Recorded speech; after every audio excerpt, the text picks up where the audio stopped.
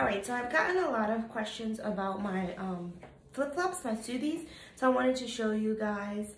Um, these are the flip-flops that I used to wear. You can see um, they're just regular flip-flops. And then these are my Sootheez. And I love them because they're so thick. They're so comfortable. Um, they're a slide-on versus um, the strap in the toe.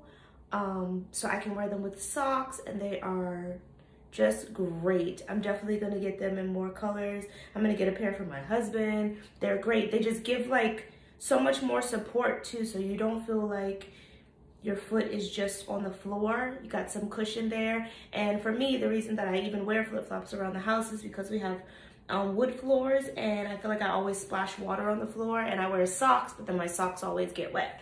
So then this is perfect. I can just slide them on. I, I feel like I'm gonna live in these things, especially come summertime when summer comes back. So um, get yourself a pair because they're amazing. Um, I highly recommend them. Like for sure five stars amazing so um i'll link where you guys can get them but it's it's sootheez they're called sootheez and they're great